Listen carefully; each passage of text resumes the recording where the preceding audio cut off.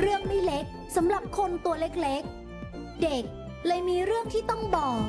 เด็กๆ แล้วก็ทางชาวบ้านเนี้ยก็มีเรื่องคือมีปัญหาเรื่องสันตะกัวที่อยู่ในลำห้วยค่ะ ผู้ใหญ่เขาต่อสู้มานาน ก็เลยต้องนำเด็กกลุ่มนี้มาสื่อสาร ก็อยากจะให้แบบคนข้างนอกเขาได้รับรู้แล้วก็ได้มาหันมามอง